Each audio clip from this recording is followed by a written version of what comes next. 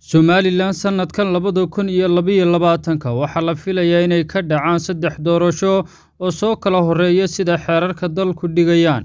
Doorashada golaha guurtida somalilan ayaa ugu soo horreysa oo muddo lix iyo toban sano ka badan aan la dooran xildhibaanadaasi. Waxaana ku xigta doorashada madaxtooyada oo ku astaysan saddex iyo tobanka bisha noofembar iyadoo lix iyo labaatanka bisha disembar ay ku astaysan tahay doorashada ururada siyaasadda somalilan oo tobankii sanaba hal mar xeerku jideeyey in la furo haddaba warbixintan uu qoray wargeyska african center ayaa lagu faaqiday saddexda doorasho ee isi saaran ee somalilan ku soo wajahan sanadkan.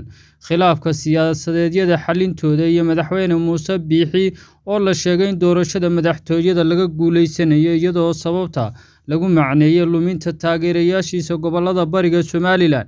Warbixinta oo lagaga hadlayay doorashada golaha guurtida somalilan ayaa lagu yidhi doorashada golaha guurtida ee bisha mey koob iyo soddonkeeda sanadkan labada kun iyo labaiyo labaatanka waxay wax badan ka tari doontaa haddii ay dhacdo dib u soo nooleynta cajalada dimuqraadiga ee somalilan xarunta afrika ee istaraatiijiyadda daraasaadka caalamiga ee washington. Africa center for strategic studies ayaa lagu sheegay in doorashada guurtida ay ugu soo horreyso islamarkaana ay ku xigto doorashada madaxtooyada waxaana ugu dambaysiiyeen doorashada ururada siyaasadda waxaana warbixinta lagu yidhi somalilan waxay haysaa hab dimuqraadiyadeed oo togan sababtoo ah dhaqanka dimuqraadiyadeed ee xooggan ay qaateen. In ku dhow lix milyan oo qof oo deegan somalilan waxaa xusid mudan muhiimadda ay leedahay in khilaafaadkooda lagu xaliyo wadaxaajood iyadoo aan la carqaladaynin sumcadda xasiloonida dalka.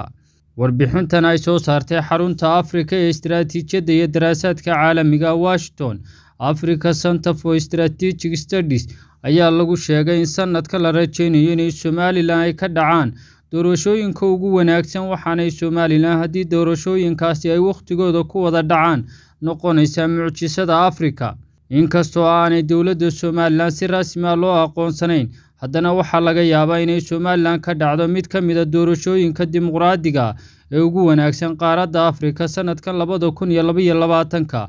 Ayaa lagu sheegay warbixintaasi ay soo saartay africa center for strategic studies. Ugu dambeyn warbixinta ayaa lagu sheegay in haddii sanadka labada kun iyo labaiyo labaatanka doorashada madaxtooyada somalilan ay galaan saddexda xisbi ee hadda liisanka haysta ucud wadan iyo kulmiye in laga guuleysan doono madaxweyneha hadda xilka haya waxaana ay sabab uga dhigeen in xisbiga talada dalka haya kulmiye uu lumiyey taageeradii shacabka bariga oo sida xarunta daraasaadku qortay lagu sheegay inay yihiin boqolkiiba afar iyo lixdan waxaana taas sabab uga dhigeen in madaxweynaha lagaga guuleysanayo haddaanu wax ka bedelin. Maxamed faarax bile telefishinka c b a hargeysa